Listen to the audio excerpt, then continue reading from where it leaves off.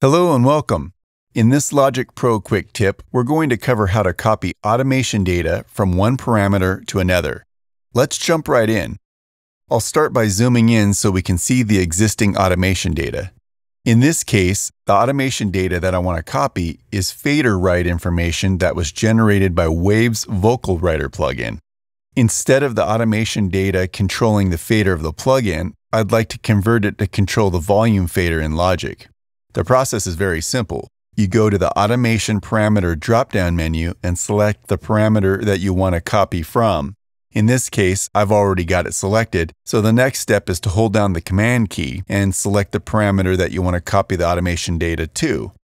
I want to copy the automation to the volume fader, so I'm going to select Volume. A dialog box has popped up asking if I want to convert the automation data or copy and convert. My preference is to copy and convert, so if I ever need to go back to the plugin's automation data, I still have it available.